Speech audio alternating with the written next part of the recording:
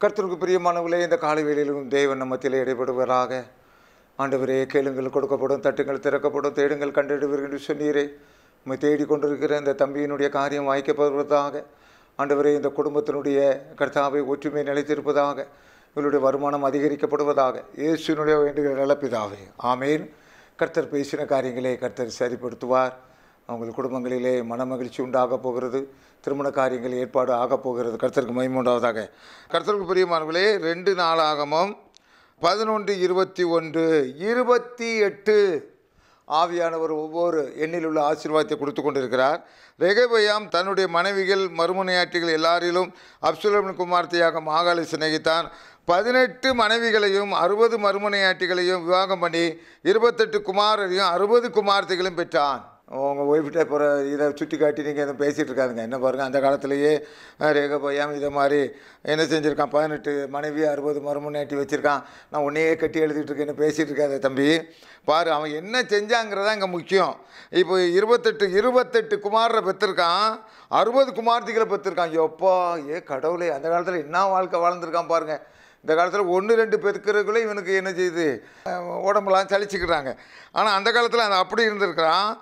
இருபத்தி மூன்றாம் வசனத்தில் அவன் புத்தியாய் நடந்து யூதா பெண்ணிமனுடைய எல்லா தேசங்களும் அரணான சகல பட்டங்களிலும் தன் குமாரர் யாவாரையும் பிரித்து வைத்து அவர்களுக்கு வேண்டிய ஆகாரத்தையும் கொடுத்து அவர்களுக்கு அநேகம் பெண்களை தேடினா ஐயா இப்போ அந்த ரெகபே என்ன செஞ்சுக்கலாம்? ஐயா ஆறுநூறு கூட பெற்று போட்டுருக்கலாம். நான் சொல்கிறேன் ஏன்னா அவன் அடுத்த வசனத்தில் வருதுயா அவன் புத்தியாக நடந்து ஒரு பையன் குட்டையா அவனுக்கு குட்டைக்கேற்ற ஒரு பொண்ணு. ஒரு பையன் நெட்டையா நெட்டைக்கேற்ற ஒரு பொண்ணு. ஒருத்தன் படிச்சிருக்கானா அவனுக்கு ஏற்ற ஒரு பொண்ணு. அவனுக்கு அவனுக்கு ஒரு அவனுக்கு பொண்டாட்டிலாம் தேடி அவன் அவனுக்கு எதில் இன்ட்ரெஸ்டாக இருக்கு? கம்ப்யூட்டரில் இன்ட்ரெஸ்டாக இருக்கா? கம்ப்யூட்டரில் கொண்டு போ. அவன் அடிதடில் இன்ட்ரெஸ்டாக இருக்கானா? சரி மல்லிகை தீர்த்து கொண்டு போ. அவன் என்ன செய்யறான்? சாப்பாடு பிரியனாக இருக்கான்? ஒரு ஹோட்டலில் போட்டு வை. இப்படி கரெக்டாக நடந்தான் ஐயா? நடந்து அந்த பிள்ளைகளுக்கெல்லாம் எல்லா காரியத்தையும் தேடி வச்சானுங்க பெற்று போடுறது பெருசு இல்லை.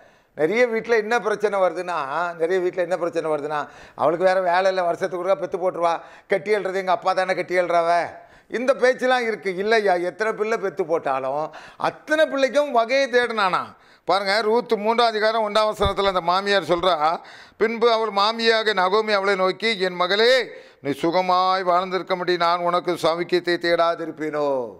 நீ சுகமாக வாழ்ந்திருக்க முடியும் ஏ குடிகாரனே நீ குடிச்சிட்டு எழுதிவான் பிள்ளை ஒரு பையன் பிஸ்கட்டுக்கு எதிர்பார்த்துட்டு இருக்க. நீ குடிக்கிறிய. நீ எல்லாம் என்னத்துக்கு ஆவாளே? அவனை நீ ஐயா பெத்து போட்டா?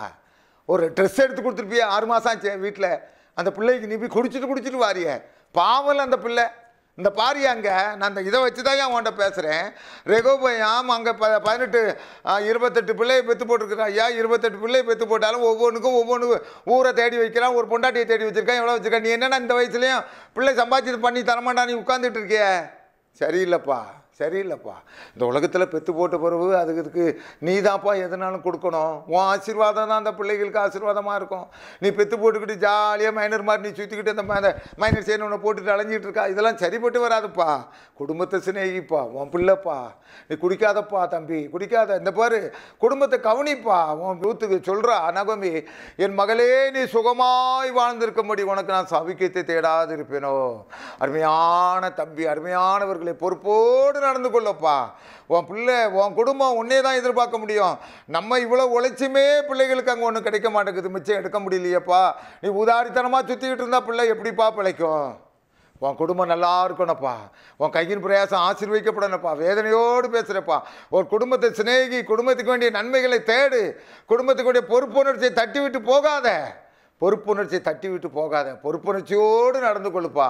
பிள்ளைகளுக்கு வேண்டிய சேகரித்து வை ஆசீர்வாதமாக இருப்பாப்பா. நீ தயவு செய்து தயவு செய்து உன் குடும்பத்தை சிநேகிப்பா. பிள்ளைகளுக்கு ஏதாவது சேர்த்து வைக்க பாருப்பா.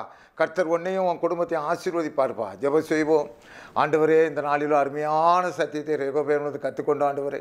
இருபத்தெட்டு கர்த்தாவே இருபத்தெட்டில் இந்த ஆசீர்வாதத்தை பார்க்கின்ற போது அந்த மனிதனுக்கு எத்தனை பிள்ளை பத்து போட்டாலும் அத்தனை பிள்ளைகளுக்கும் வழி செஞ்சுருக்கான் தாப்பனே. அதே மாதிரி பொறுப்புணர்ச்சி இல்லாமல் நடக்கிற அருமையான இந்த குடும்பத்தலை தலைவரை சந்திப்பீராக அவருக்கு ஒரு மனமாற்றத்தை கொடுப்பீராக அவருக்கு ஒரு புத்தியை ஏற்படுத்தி கொடுப்பீராக ஆண்டவரை ஐஸ்வர்யத்தை சம்பாதிக்கான ஞானத்தை கருத்தர் கொடுத்து வழிநடத்துவீராக. இந்த குடும்பங்கள் எல்லாம் கட்டப்படட்டும் ஆசீர்வாதமாக இருக்கட்டும். ஏசு மூலம் வேண்டுகிறேன் நல்ல பிதாவே. ஆமேன் ஆமேன்.